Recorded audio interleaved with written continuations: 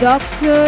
Amrinder Singh from Dr. Amrinder Singh Clinic for the Jury Choice Award for research on wheat allergy.